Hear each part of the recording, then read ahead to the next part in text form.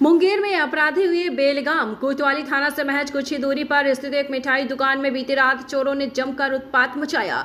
और चोरों ने मिठाई दुकान में न सिर्फ़ तोड़फोड़ की, बल्कि दुकान में रखे गले से पच्चीस हज़ार रुपए कैश और सोने का बजरंग बली की मूर्ति के साथ ही सीसीटीवी कैमरा भी अपने साथ ले गए।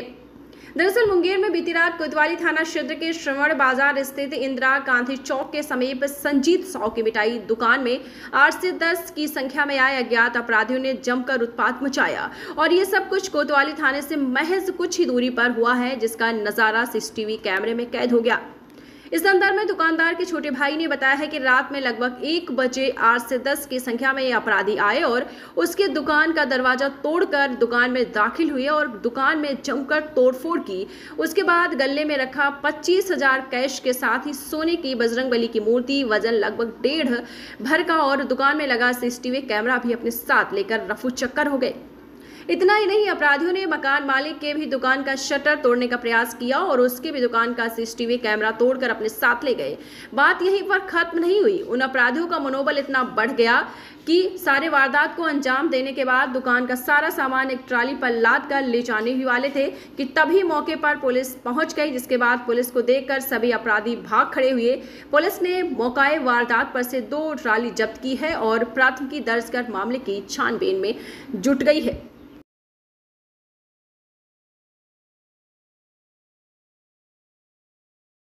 दुकान का।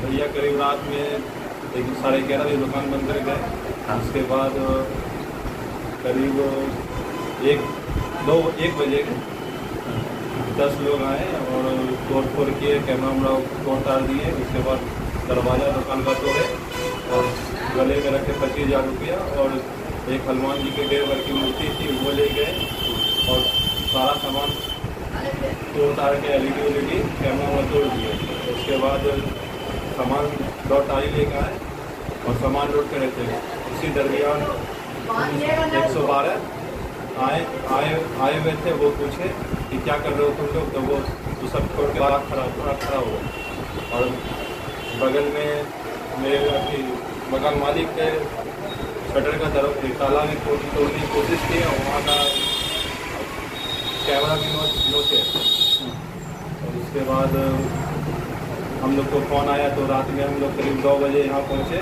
घटनास्थल पर।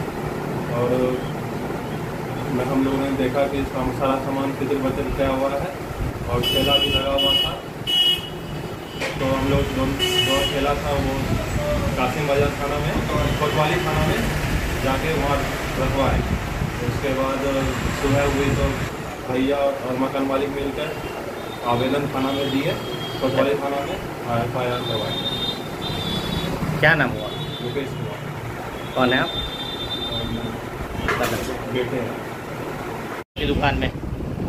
सर कुछ पड़ोस के लोगों ने फ़ोन करके बताया कि हमारे दुकान पे कुछ अज्ञात लोग दस बारह की संख्या में आए हैं और ताला तोड़ने की कोशिश कर रहे हैं, शटर वगैरह में छाप वगैरह डाल के जो है पूरा होल्ड कर रहे थे लेकिन उसमें कामयाब नहीं हो सके और सीसीटीवी कैमरा पे हमारा नोच लिया।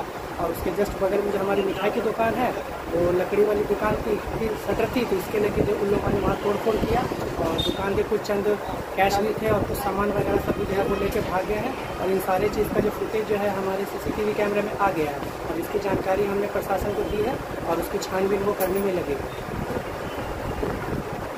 क्या नाम हुआ आपका? मेरा नाम मोहम्मद आसिफ इकबाल है। मकान मालिक है आप?